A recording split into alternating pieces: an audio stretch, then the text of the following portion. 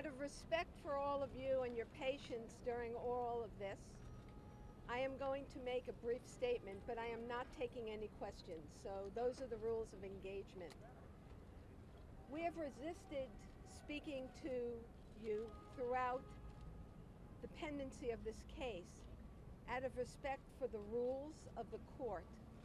But as you can see now, the mask is off. Our client, Ghislaine Maxwell, has been vilified, pilloried, and it left little room for her to be treated fairly because even before she stepped forward into this courthouse, she was being tried and convicted in the court of public opinion. Ghislaine will appeal this case, and we are confident that she will prevail on appeal.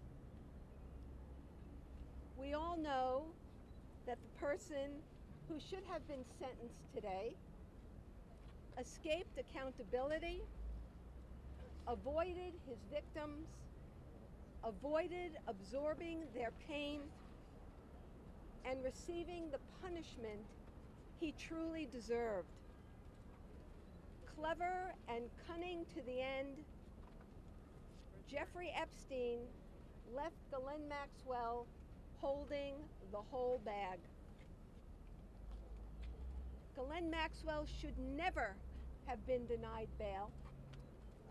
She has endured the most unusual and severe conditions of pretrial detention in solitary confinement.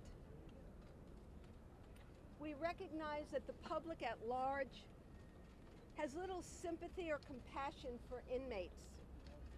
That, of course, is until they themselves or members of their families have brushes with the law and find themselves in the midst and thrust into the criminal justice system.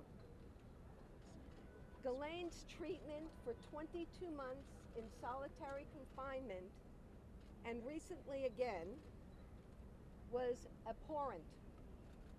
The conditions in the MDC, even mentioned by the judge, are reprehensible.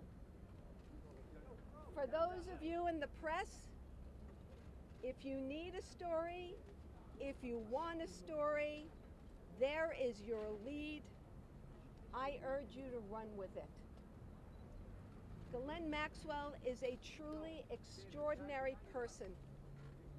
She has been sentenced to an extremely long term of imprisonment for a 60 year old woman who has shown no involvement whatsoever in criminal activity for the better part of the past 20 years or anything before the conduct of conviction. She has been incredibly strong to endure the daily vilification and mistreatment. It has been my personal and professional privilege to have represented Ghislaine Maxwell. And I want to thank her family and her personal attorney for their unfailing support of her.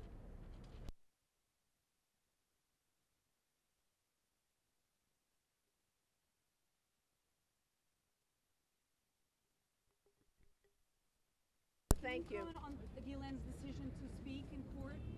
I thought her statement was moving and on point, and as everyone should know, that anybody who is appealing their sentence has the right to maintain the record and the issues on appeal. Does she So regret? thank you. Does she regret? Kevin, une réaction pour ça Kevin Kev- Kevin, you're speaking? Yes. Um, so just um, to say that we have nothing um, to add to the very heartfelt statement that Ghislaine gave in court, uh, and nothing to add to the comments that she made uh, about the victims and her uh, sincere hope that the trial, her conviction, and this sentencing uh, will allow the victims some closure. Um, just to echo what Bobbi Sternheim has said, uh, Ghislaine will be exercising her right uh, to appeal um, her conviction and sentence, and we, uh, the family, will be uh, solidly behind her all the way. Thank you very much.